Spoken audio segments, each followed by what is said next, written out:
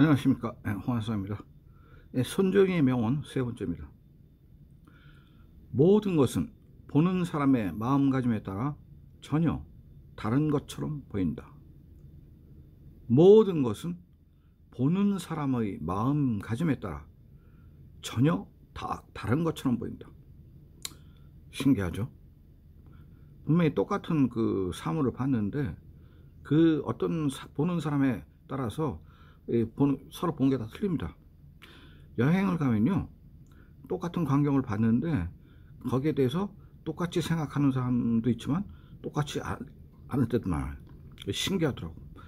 이건 뭐냐면 자기가 지금 다른 생각을 하고 있으면서 사물을 볼 때는 그 다른 생각과 즉 사물이 오버랩이 돼 가지고 새로운 그 받아들이는 현상이 생기는데 그 받아들일 때 자기가 갖고 있는 주체, 자아 거기에 좀또 갖고 있는 생각 이런 것들이랑 다르게 보이는 겁니다.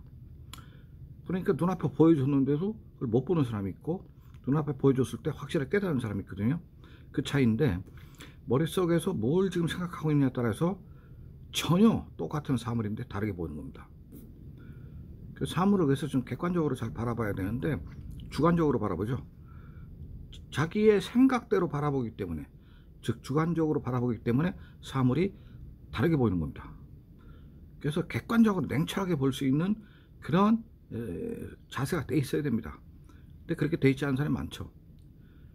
자, 손정의 명언이었습니다. 감사합니다.